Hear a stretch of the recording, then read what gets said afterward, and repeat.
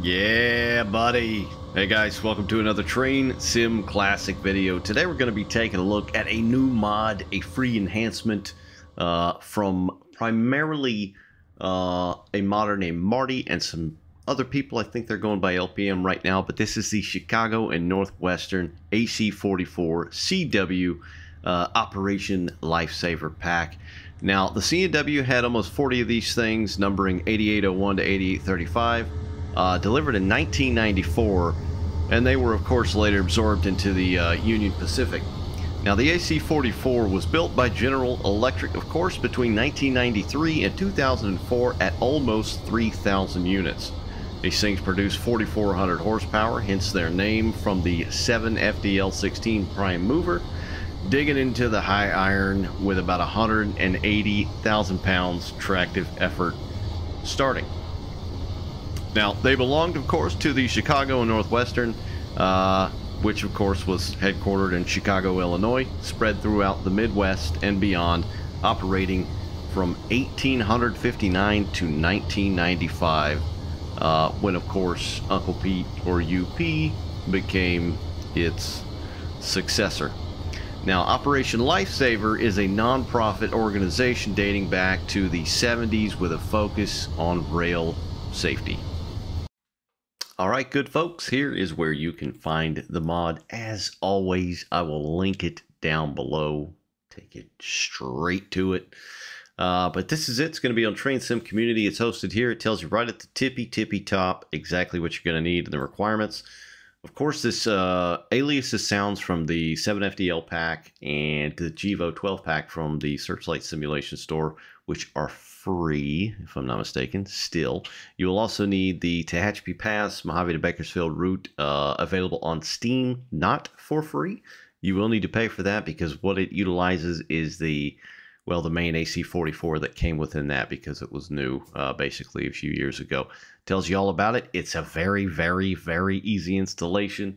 You drag your assets into the Railworks uh, folder within your file structure you run the uh, batch file, which installs everything for you, which I personally love this kind of stuff because it's super easy and I'm really, really lazy. Need to work on that. So, fairly easy to do. This is where it's at. I'll link it down below. Let's go ahead and crack it open. Upon opening of the crack, here you have the manual. Now you don't even have to download the pack to look at the manual. You can just download the manual and look at it right here. It tells you everything you need to know. Preface, requirements, installation, features, cab views, uh, keybinds, prepping the unit. We'll go through all this in just a moment here. Uh, tell you about the luck control, which I didn't really look at at all. Uh, and you've got some credits to the folks involved uh, with these very nice mods that they have given us, the uh, Train Sim community, to use and have and uh, experience.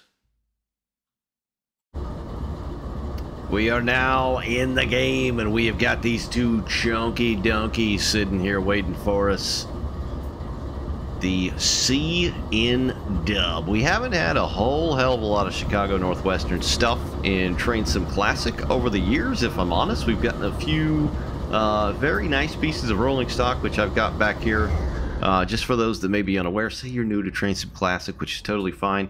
Uh, you've got a uh, just an absolute plethora of rolling stock, which you can also get from Searchlight Simulations, which is uh, free rolling stock and it's amazing. It's some of the best rolling stock and freight cars in train sim classic for north american content hands down on the table.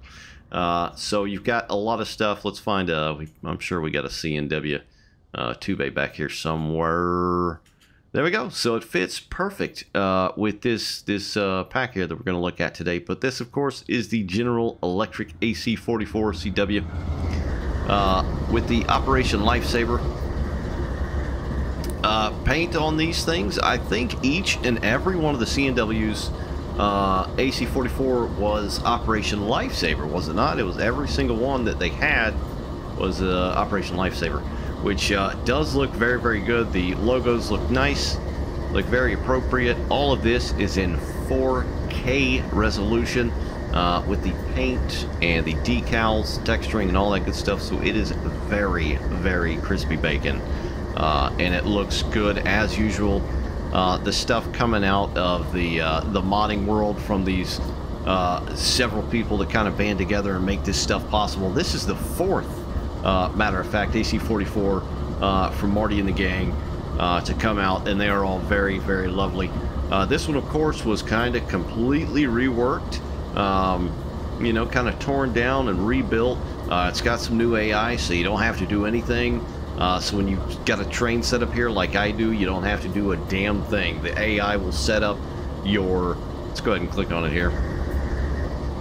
The AI will go ahead and set up your uh, your front, rear trailing units. So I've got a trailing unit there, and then I've got one at the back DPU.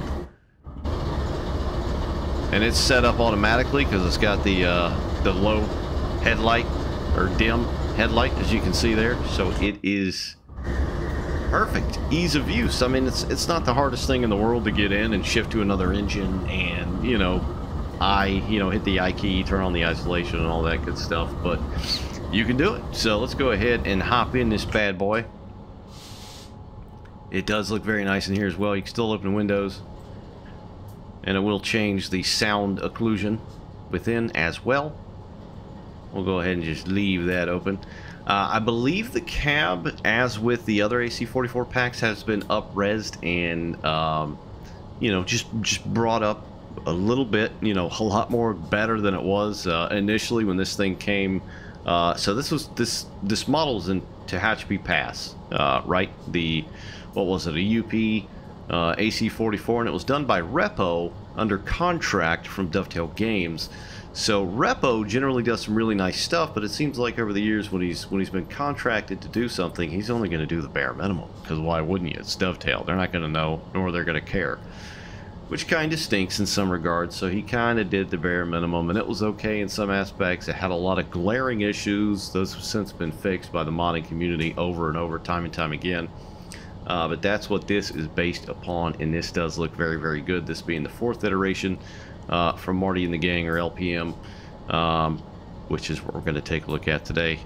New thing right off the bat is the reverser key. It is rojo, red, red rocket, lipstick.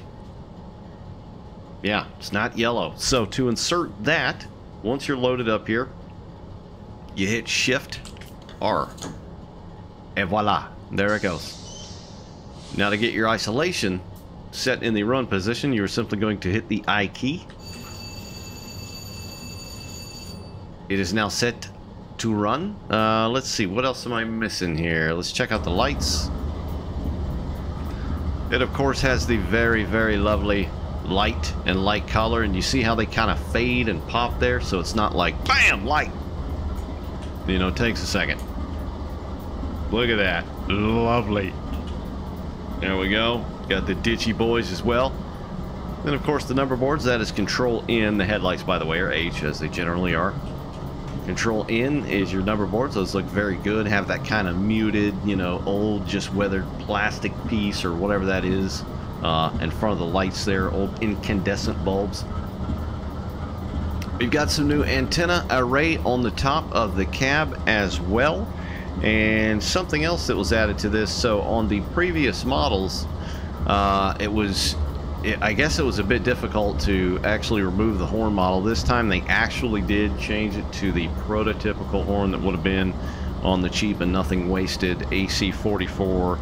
And this is, what is the name of it? It's one of the funky ones. K5AR24, I think. K5AR24. And there's the model right there, and it does look very nice indeed. That's a good looking Huron. Very nice looking Huron. We'll go ahead and sit here and toot that son of a gun here for a minute.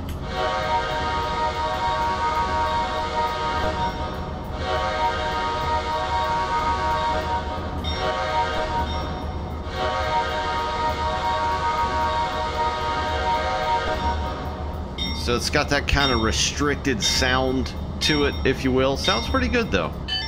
We'll back up some here. That steel bell is loud AF. There it is there. We'll back up a little bit more, about another half a mile.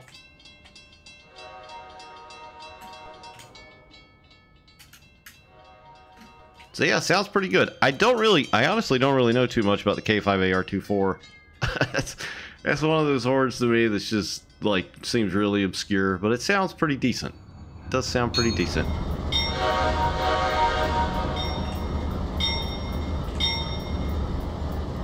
Let's get inside and check it out.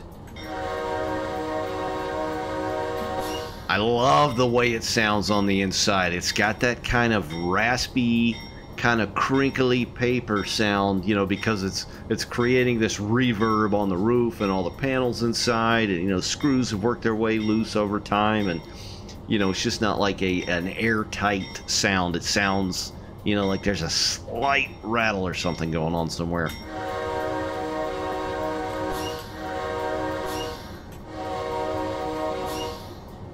Sounds pretty good. And you can actually hear a bit of an echo as well.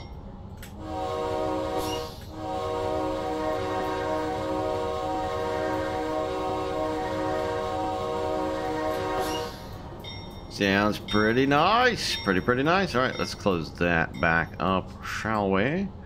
I uh, got the new cab radio as well. That is all brand spanking new, as with um, the other AC44s that were built.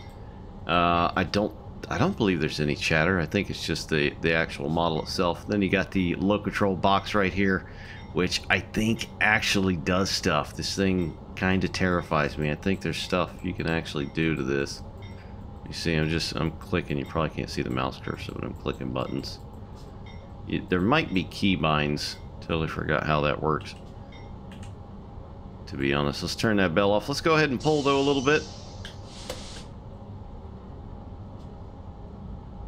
Alright, let's get our independent brake up. Get here, come into high idle there. Go ahead and drop the train brake.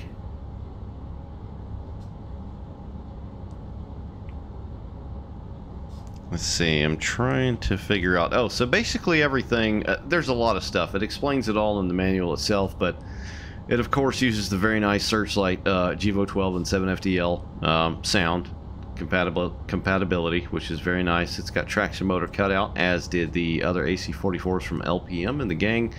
Uh, the new bell, uh, the new Hron, 4K textures, decals, light casting toggle, dynamic exhaust, fading lights, low control box. Yeah, it's another thing is the fading lights. Let me see.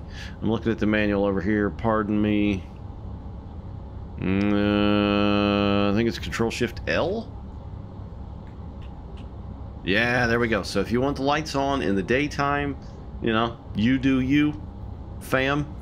Uh, but I think they look kind of dumb, so it's it's nice to have this option at night if it is dark. Then you can have them on. Otherwise, like right now, it's just it looks ridiculous. So I generally leave those off, and it will save uh, a frame or two. Something else that is very, very important to this pack is the, uh, the shish.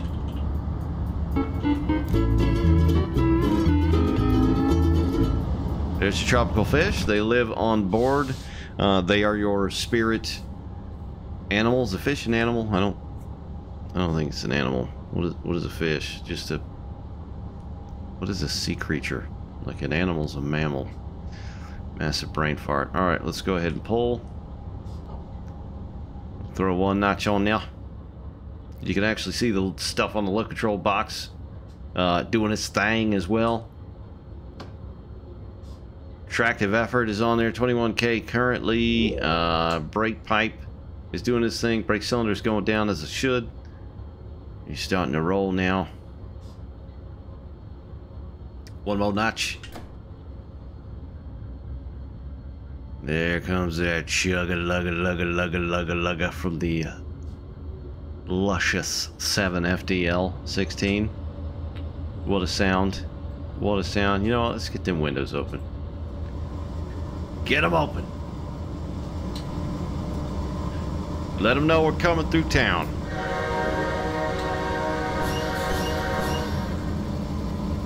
There we go. All right, let's. Uh, I'm gonna crack the menu up on the other screen here just so I can see what I'm missing and not missing. Let's see here. Let's see here. Let's see here. Da, da, da, Da, da. So you've got reverse headlights as well if you need to run this thing backwards, long hood forward. So basically the same with headlights. It's going to be H, uh, Shift H to shut them off and on. And then reverse headlights is going to be Control H and Control Shift H. We've also got step lights, which I completely glazed over. We'll look at that now. That's Control Shift S.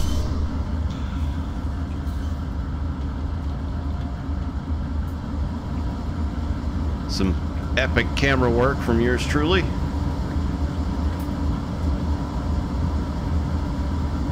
Let's go to that side. There we go. You can see him popping on down under the stars there. Right to the left of the plow. Stupid bungalow got in the way. There we go. Off and on. We'll go back in. Alright, what else can we do? So you got a distant counter as well with Shift A and Control Shift D. So we'll hit Shift A, which starts it. And then if you want to stop it, you hit Control Shift D. And there it goes. Now it is stopped. I like that low control box. That's that's very cool. Uh, wipers are V and Shift V. Did not mean to hit the horn. They've got that nice kind of stick in the middle there instead of just wop, wop, wop, wop, wop, wop, like most of the uh, default vanilla dovetail kind of stuff does. Just quicker. And shift V to turn them all the way off. Come on, get on back. There we go. Let's give her a nope, nope, sir. Please stop with the wipers. Thank you. We'll give it another notch.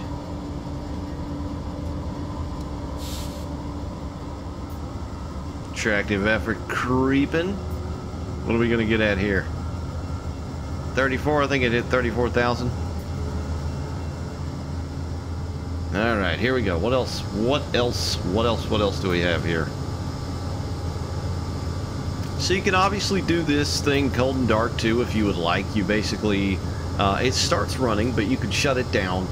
Um, but what you would need to do is, is set your isolation switch to run, which is your I key insert the reverser key, which is Shift R. Uh, you know, select the desired direction and off you go, basically. You can do the traction motor cutout as well. Uh, let's see, what is the, the key?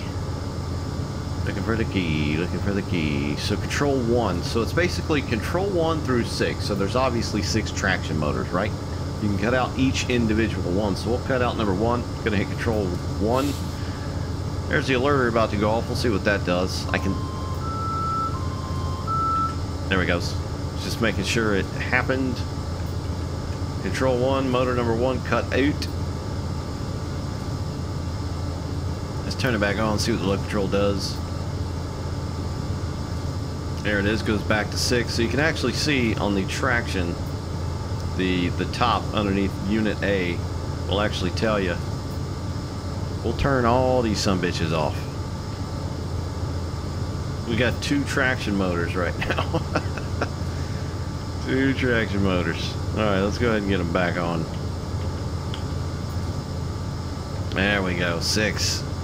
And then of course you've got the uh, GE Loco Cam, which is a neat little feature. I actually like this a lot. You just hit over on your uh, your directional keys, and there it is. You're right on the nose. You got a fireman or conductor side. You've got a middle side or a, a third seat as well. Middle side, middle obviously isn't a side, is it? Alerter going off again, doing its thing. Give it another notch.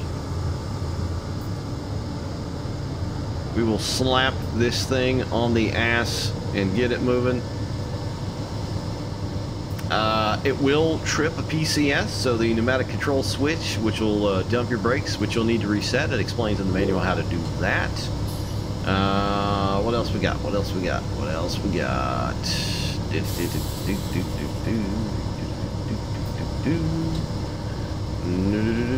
It says do not use in 32-bit. Um, pretty much any really decent stuff nowadays in Trains Classic, you're not going to be able to use in 32-bit. It just simply will not work.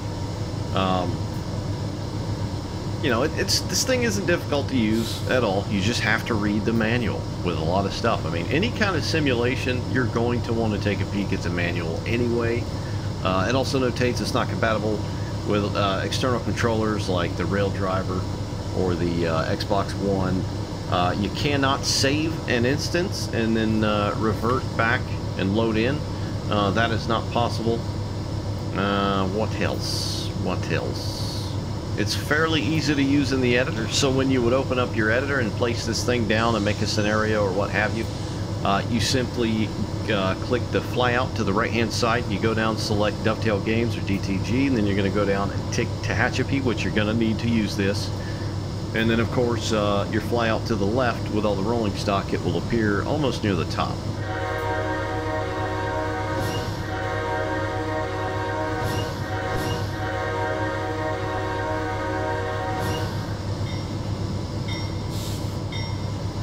That thing sounds totally bitchin' inside. I will not lie. It sounds really, really good on the inside. It's got dynamic exhaust dependent on the RPM. Sounds like the loco just tooted. So we'll go ahead and notch down here, see what it does. And there it goes. It's just kind of a, a wispy fart in a hurricane now. You can barely see it.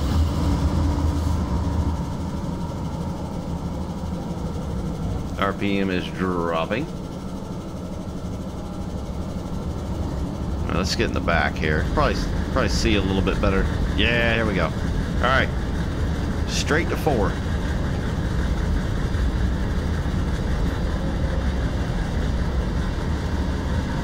And the exterior on these son of a guns look really, really good. The colors look impeccable, very crispy, almost scrumptious enough to make you want to eat it. Uh, the logo itself, the cheap and nothing wasted, looks uh, pretty darn perfect. The look, listen, and live on the bottom there per the uh, Operation Lifesaver, which is still going on to this very, very day. Uh, I believe that sticker there is new. Ownership Ownership subject to security agreement, blah, blah, blah, blah, blah. Surface Transportation Board. The numbers look nice. Uh, there's been added decals all over this thing where uh, applicable in real life. It's just a damn good looking unit, even on the top there.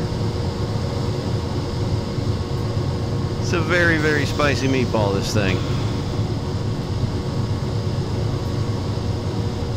And I think I just about covered everything. One last thing you can do, let's close the windows. I feel like I'm screaming. I've got the volume up in the game. Because you can override the alerter. So if you just like kind of messing around, taking photos, you know, maybe watching a YouTube video on your second screen or what have you, you don't want to worry about the alerter. Simply hit Control Q and it will disable it as per the, uh, the thing in the top right hand corner. But that is the CN Dub AC 4400 CW Operation Life Saver. Uh, this thing is very nice, as to be expected. Uh, you know, just like the other stuff that comes out from this lot. Uh, and they have also recently re-released the other AC-44. So there's uh, da, da, da, what was it? Uh, uh, Southern Pacific, Utah Belt. Uh, God, what's the other one? Massive brain fart. There's four. This is the fourth one. There's another one.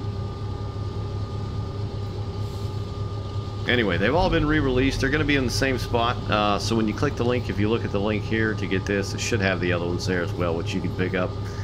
But that is it for now, boys and girls. Thanks for watching. Hope you enjoyed the video. Very, very nice uh, work indeed, as usual, for this thing. Nice to have something from the, uh, the Midwest. See you next time, guys.